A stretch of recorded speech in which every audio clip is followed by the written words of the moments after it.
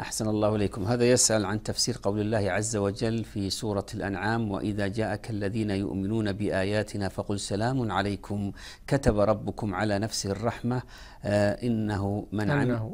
أنه من عمل منكم سوءا بجهالة ثم تاب من بعده وأصلح فإنه أن فأنه غفور رحيم. نعم.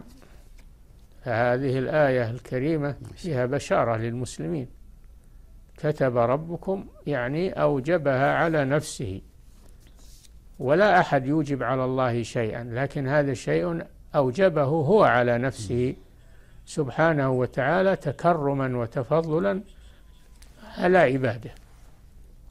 أنه من عمل منكم سوءا بجهالة ليس المراد الجهل بل الجهالة وهي عدم الحلم. عمله بجهالة يعني عدم الحلم والأناة. ثم تاب من بعد ذلك وأصلح فإن فأنه غفور رحيم. هذا فتح من الله فتح به لعباده ألا يقنطوا من رحمة الله. مهما عظمت ذنوبهم وسيئاتهم فباب التوبة مفتوح.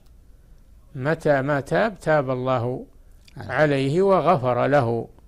والتائب من الذنب كمن لا ذنب له كما في الحديث. نعم.